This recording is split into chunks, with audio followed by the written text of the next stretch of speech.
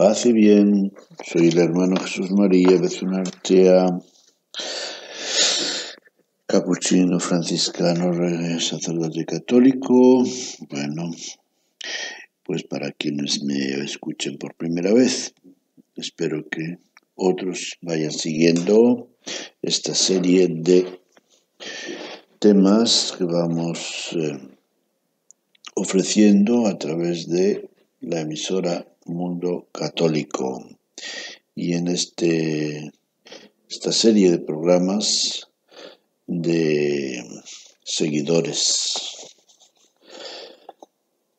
seguidores del Evangelio, seguidores de Jesús, pues bueno, ahora eh, hoy quiero hablarles dentro de esta serie que comencé hace un par de semanas eh, con la encíclica del Papa Fratelli Tutti, todos hermanos, quiero eh, ofrecerles una reflexión que el Papa nos ha hecho eh, para la Jornada Mundial del Migrante, que fue este domingo pasado, día 26. Y esta jornada mm, tenía un eslogan, un lema, que es el siguiente, hacia un nosotros cada vez más grande, hacia un nosotros cada vez más grande. Y comienza el Papa con estas palabras. En la carta encíclica Fratelli Tutti expresé una preocupación y un deseo que todavía ocupan un lugar importante en mi corazón.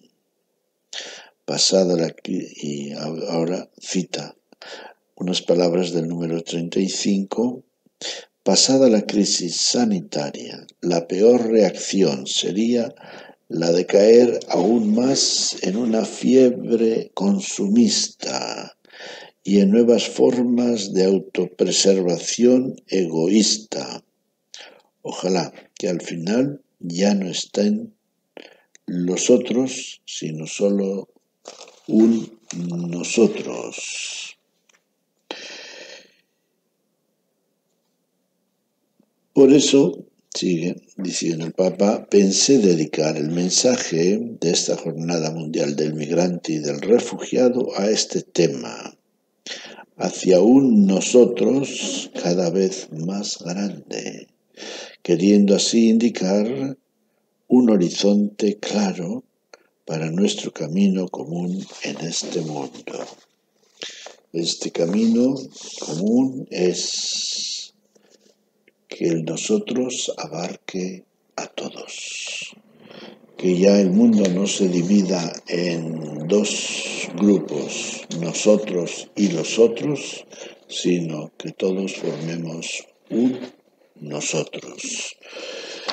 Y en ese sentido, claro está, pues les voy a seguir leyendo de la encíclica del Papa primeramente sobre este tema de la migración, del que nos habla en los números 37 al 41. Y luego, el tiempo que nos quede, volveremos a, a, otros, a otro tema que es la base de todo, que son los derechos humanos que son derechos de todos. Bien, pues comienzo la lectura y iré haciendo alguna algún comentario, interrupción, en medida que lo crea oportuno. El número 37, que lleva por subtítulo Sin dignidad humana en las fronteras. Dice así el Papa, tanto desde algunos regímenes políticos populistas como desde planteamientos económicos liberales, se sostiene que hay que evitar a toda costa la llegada de personas migrantes. Al mismo tiempo se argumenta que conviene limitar la ayuda a los países pobres, de modo que toquen fondo y decidan tomar medidas de austeridad. No se advierte que, detrás de estas afirmaciones abstractas difíciles de sostener, hay muchas vidas que se desgarran. Muchos escapan de la guerra, de persecuciones, de catástrofes naturales. Otros, con todo derecho, buscan oportunidades para ellos y para sus familias. Sueñan con un futuro mejor, y desean crear las condiciones para que se haga realidad.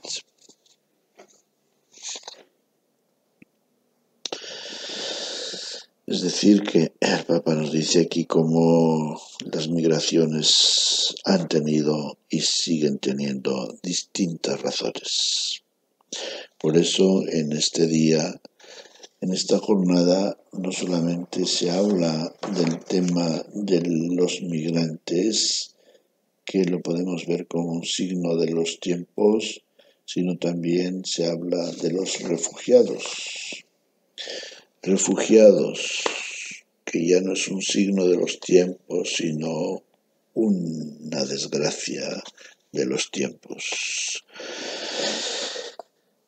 Bueno, entonces eh, eso, lo que decía aquí el Papa es como pues, mm, las migraciones, desafortunadamente, muchas veces están promovidas o provocadas por escapar de la guerra, de persecuciones, de catástrofes naturales, mientras que otros buscan oportunidades de progreso para sus familias, para ellos.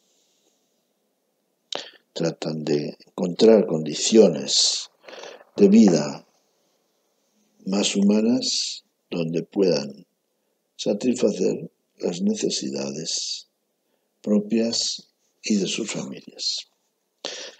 Y el número 38 dice, Lamentablemente otros son atraídos por la cultura occidental, a veces con expectativas poco realistas, que los exponen a grandes desilusiones.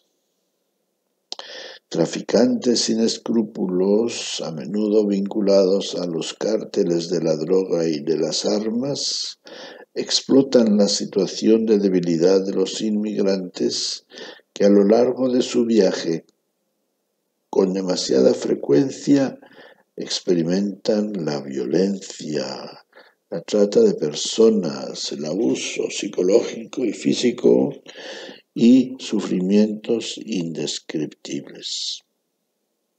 Los que migran tienen que separarse de su propio contexto de origen y con frecuencia viven un desarraigo cultural y religioso. La fractura también concierne a las comunidades de origen que pierden a los elementos más vigorosos y emprendedores y a las familias, en particular cuando emigra uno de los padres o ambos, dejando a los hijos en el país de origen. Por consiguiente, también hay que reafirmar el derecho a no emigrar, es decir, a tener las condiciones para permanecer en la propia tierra. Y esta reflexión a veces es muy importante también para nosotros, para nosotros los que recibimos a los migrantes, para tener una actitud positiva, comprensiva, de aceptación, de solidaridad hacia ellos, que no han llegado a los países de Europa o no llegan a los países de Europa o de, del norte de América para vivir la gran vida, sino que vienen simplemente para satisfacer las necesidades básicas de sus familias y para ello muchos de ellos han arriesgado su vida y de hecho muchos de los que no han llegado es porque la han perdido en el trayecto, sea a través de desiertos, a través de, del mar, que han tenido que cruzar en condiciones tan pobres. Sigue el Papa, el número 39. Para colmo, en algunos países de llegada, ahí viene, pues, lo que venía a decir yo, los fenómenos migratorios suscitan alarma y miedo, a menudo fomentados y explotados con fines políticos. Se difunde así una mentalidad xenófoba, de gente cerrada y replegada sobre sí misma. Los migrantes no son considerados suficientemente dignos para participar en la vida social como cualquier otro y se olvida que tienen la misma dignidad intrínseca de cualquier persona. Por lo tanto, deben ser protagonistas de su propio rescate. Nunca se dirá que no son humanos, pero en la práctica, con las decisiones y el modo de tratarlos, se expresa que se los considera menos valiosos, menos importantes, menos humanos. Es inaceptable que los cristianos compartan esta mentalidad y estas actitudes, haciendo prevalecer a veces ciertas preferencias políticas por encima de hondas convicciones de la propia fe la inalienable dignidad de cada persona humana, más allá de su origen, color o religión, y la ley suprema del amor fraterno.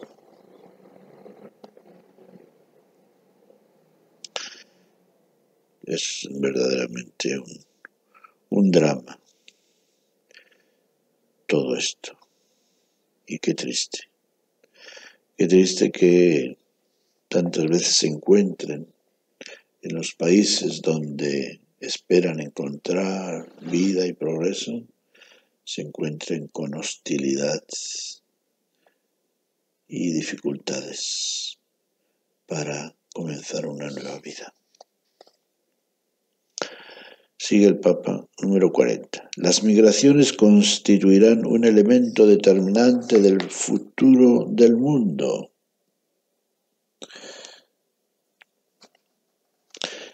tomado del discurso del, al cuerpo diplomático acreditado ante la Santa Sede, discurso del Papa en enero del 2016. Quiero leer y releer esta frase porque, como les decía al principio, las migraciones son un signo de los tiempos presentes porque constituirán un elemento determinante del futuro del mundo. Entonces, el punto no es resistirse a las migraciones, sino saber aceptar a los migrantes y darles los cauces de vida y de desarrollo oportunos para que se conviertan en ciudadanos de los países a los que llegan, que puedan colaborar en todos los campos, que puedan satisfacer sus derechos y colaborar al progreso del país en que están. Bueno, pues siguiendo lo que el Papa nos dice, las migraciones constituirán un elemento determinante del futuro del mundo, dice a continuación, pero hoy están afectadas por una pérdida de ese sentido de la responsabilidad fraterna, sobre el que se basa toda sociedad civil. Sentido de la responsabilidad fraterna, fraterna. Se ha perdido, dice el Papa, el sentido de la responsabilidad fraterna sobre el que se basa toda sociedad civil. Y esa responsabilidad fraterna significa que todos somos responsables de todos. Europa, por ejemplo, corre serios riesgos de ir por esa senda. Sin embargo, inspirándose en su gran patrimonio cultural y religioso, tiene los instrumentos necesarios para defender la centralidad de la persona humana y encontrar un justo equilibrio entre el deber moral de tutelar los derechos de sus ciudadanos, por una parte, y por otra, el de garantizar la asistencia y la acogida de los emigrantes. Y es importante, importante que a nivel político y social se vea esta doble, esta doble necesidad. Tutelar los derechos de sus ciudadanos y garantizar la asistencia y la acogida de los emigrantes que pronto serán ciudadanos del país a donde emigran o al menos lo serán sus hijos. Sigue el Papa, número 41. Comprendo que ante las personas migrantes algunos tengan dudas y sientan temores. Lo entiendo porque es una parte del instinto natural de autodefensa. Pero también es verdad que una persona y un pueblo solo son fecundos si saben integrar creativamente en su interior la apertura a los otros. Una persona y un pueblo solo son fecundos si saben integrar creativamente en su interior la apertura a los otros. A los otros. Sean quienes sean. Invito a ir más allá de esas reacciones primarias, porque el problema es cuando esas dudas y esos miedos condicionan nuestra forma de pensar y de actuar hasta el punto de convertirnos en seres intolerantes, cerrados, quizás sin darnos cuenta, incluso racistas.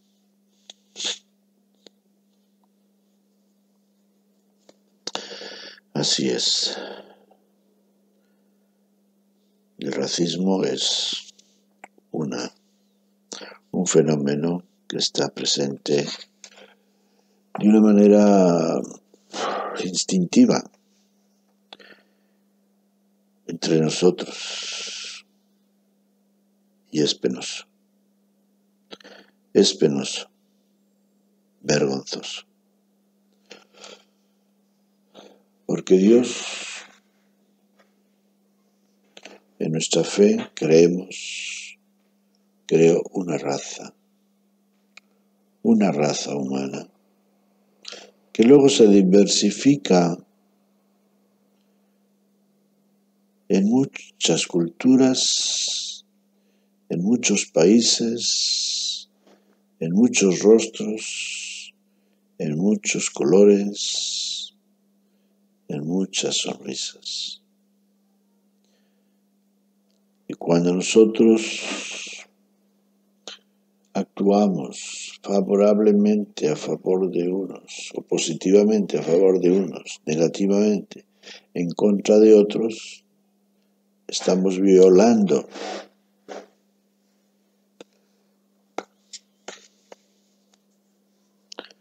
esa realidad de una raza multicolor, multicultural, multi de muchas cosas y en muchas formas. El miedo nos priva así del deseo y de la capacidad del encuentro con el otro. El miedo el miedo. Qué pena. Más eh, adelante dentro de este texto de la encíclica el Papa nos habla también del miedo, conflicto y miedo. En el mundo hay muchos miedos, pero ¿por qué tenemos que tener miedo al diferente? al que es distinto, al que no es de nuestro grupo, de nuestra raza, de nuestro pueblo, de nuestro país. ¿Por qué ese instinto negativo de autodefensa? Bueno, pues humanamente se podrá dar razones pero para nosotros, cristianos creyentes en Jesús, el hermano universal que nos dijo también que nosotros somos todos hermanos, no tiene cabida. Porque somos una familia, una raza, bajo el cuidado amoroso, la providencia permanente de un Dios que creemos es nuestro Padre. Bien, Todavía nos quedan unos minutitos porque este tema de la migración, de la referencia a la migración, pues eh, concluye con este número 41. Entonces quiero ahora leerles, ir para un poco para atrás y leerles sobre los derechos humanos, porque en definitiva todas las discriminaciones que hay en la historia del ser humano, en nuestra propia historia, se deben a no reconocer adecuadamente los derechos humanos de todos, que dice aquí el Papa, no son suficientemente universales y deberían de ser universales en todo y para todos. Dice el Papa en el número 22, muchas veces se percibe que de hecho los derechos humanos no son iguales para todos. El respeto de estos derechos es condición previa para el mismo desarrollo social y económico de un país. Cuando se respeta la dignidad del hombre y sus derechos son reconocidos y tutelados, Florece también la creatividad y el ingenio, y la personalidad humana puede desplegar sus múltiples iniciativas en favor del bien común, obviamente.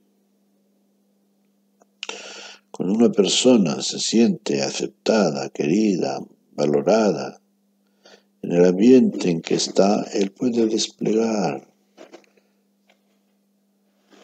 toda la riqueza, todo el abanico de valores y capacidades que tiene. Pero observando con atención nuestras sociedades contemporáneas, encontramos numerosas contradicciones que nos llevan a preguntarnos si verdaderamente la igual dignidad de todos los seres humanos, proclamada solemnemente hace 70 años, es reconocida, respetada y protegida y promovida en todas las circunstancias.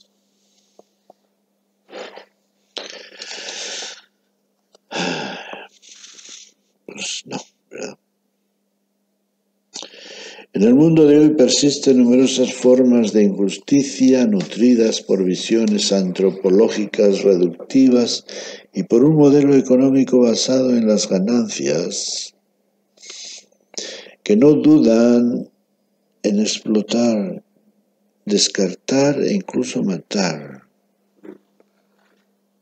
a los seres humanos. Mientras una parte de la humanidad vive en opulencia, otra parte ve su propia dignidad desconocida, despreciada o pisoteada y sus derechos fundamentales ignorados o violados. ¿Qué dice esto acerca de la igualdad de derechos fundada en la misma dignidad humana? Cuántas diferencias en un mismo país entre unos ciudadanos y otros, entre ciudadanos de la urbe y ciudadanos rurales, entre ciudadanos de la misma ciudad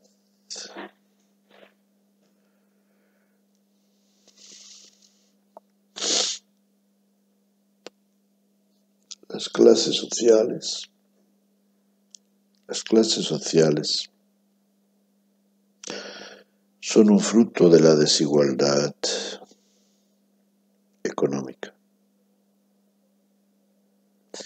Y pareciera que con las clases sociales estamos o tenemos el derecho a, a, destruir los, los derechos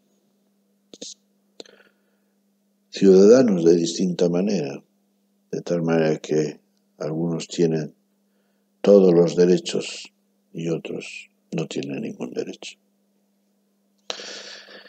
Bien, pues ya no nos queda más tiempo para seguir reflexionando sobre este tema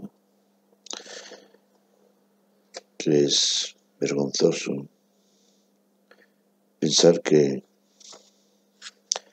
a medida que vamos progresando tanto en tantas cosas, en este aspecto de reconocer la igual dignidad de todos los seres humanos con los mismos derechos, pareciera que vamos retrocediendo en lugar de progresando.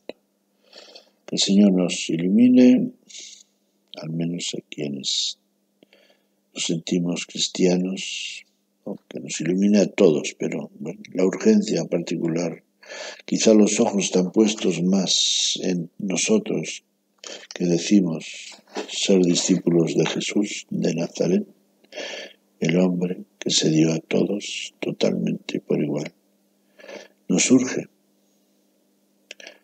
su conducta, su buena nueva, su amor, su presencia solidaria nos surge a vivir ese testimonio y que todos los seres humanos puedan encontrar en un cristiano un defensor de sus derechos. Paz y bien.